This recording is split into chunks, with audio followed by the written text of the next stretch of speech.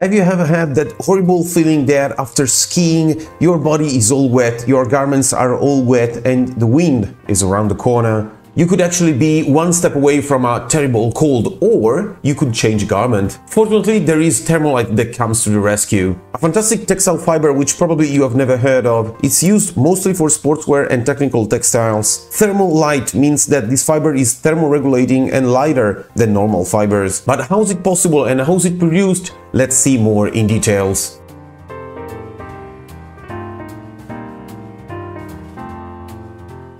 Thermolite is a special polyester fiber produced by the Lycra company along with Lycra Elastan, Coolmax polyester and several other chemical fibers. In textiles, polyester generally refers to PET, which is the same polymer used for plastic bottles and several other plastic products. PET is always PET, so chemically speaking, Thermolite is a polyester. In fact, in care label it is reported as 100% polyester Thermolite in the brackets. If chemically Thermolite is PET, the only thing that differ from the rest of conventional polyester is the shape of the polyester, which is not spun the same way. This is the shape of conventional polyester, this is the shape of Thermolite. Did you notice something different? The first is a spaghetto, the second is a bucatino. Thermolite is in fact delicious with tomato sauce. Nah, just kidding, jokes apart. Thermolite polyester fiber is indeed hollow inside. This allows the air to go inside and create small air pockets that grant a good thermal insulation. This peculiar structure actually grants several other properties, features to this fiber, such as lightness and quick drying. Since hollow inside there is less material. Thermal insulation, as stated previously, breathability, durability, since in polyester, and comfort, since the hollow structure adapts better to the skin. I'm actually a big fan of Thermolite. If you need some thermal-regulating properties, textiles, Thermolite is actually a good choice, but